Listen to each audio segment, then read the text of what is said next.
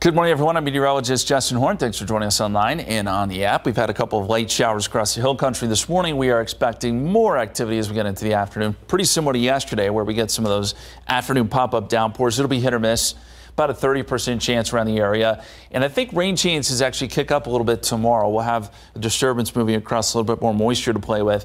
So about a 40% chance on your Thursday. That low that helps to bring the rain, though, moves away. And so by Friday, things dry out. And in fact, by the weekend, we'll have a heat high over top of us. That'll make things toasty. We'll have heat index values up near 100. Also, a little bit of uh, Saharan dust to contend with, I think, both Saturday and Sunday. So hot and hazy weekend. 91 degrees today, 30% chance of rain, 40% chance tomorrow, 89. But after that, it heats up. 94 Friday and mid to upper 90s by the weekend.